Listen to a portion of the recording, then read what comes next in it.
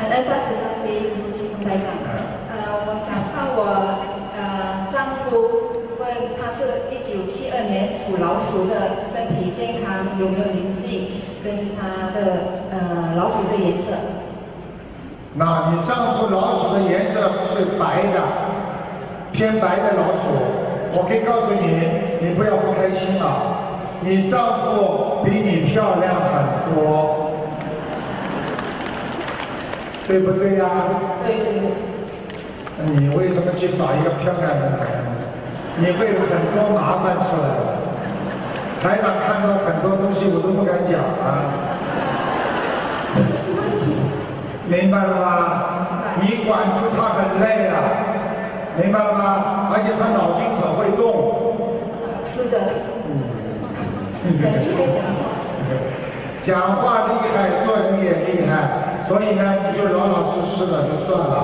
现在呢，他主要问题有两个，一个是肾脏，就是腰很不好。对对对，他他站起来不能呃不能直着。看见了吗？他站起来不能直着的，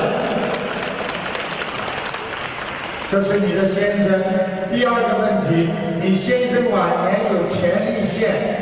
现在小便都不大好，小便，明白吗？还有，你先生人个子不是太大，对的。对对对。哎，人个子不大，皮肤皮肤蛮白的。我告诉你啊，他心脏。啊，对。嗯。明白了吗？没什么大问题。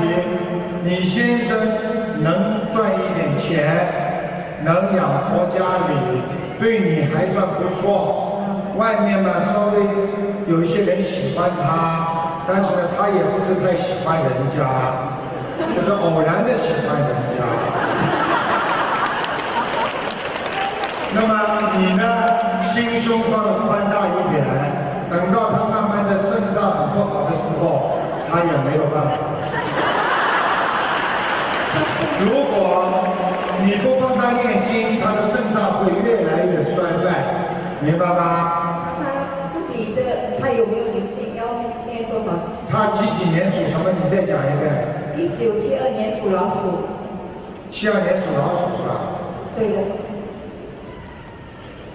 啊，他的妈妈有掉过孩子，是他的哥哥，也不是他的弟弟，经常在他身上，所以你的先生非常喜欢发无名火。啊，对。突然之间发脾气。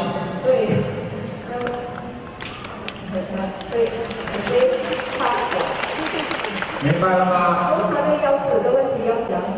你每天给他念简洁咒，念四十九遍。每天给他念心经念七遍，好不好？他自己有念经。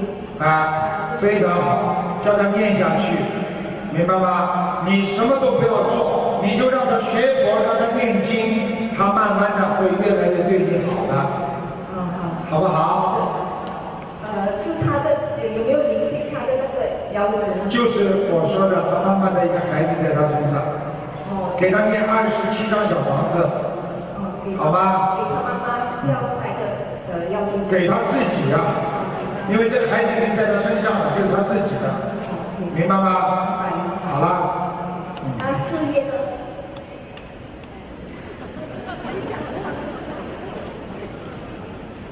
他的事业，我告诉你，时好时坏。他最近的事业不是太好，他这个人的事业是靠人家帮的。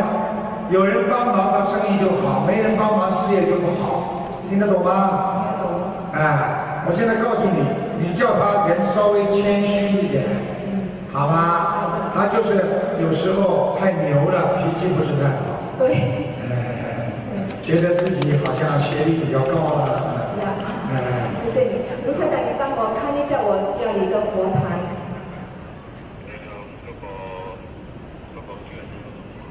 啊，你家里的佛台还可以，蛮亮的。你家的佛台是靠着窗户边上的，对不对呀？谢谢台长，谢谢。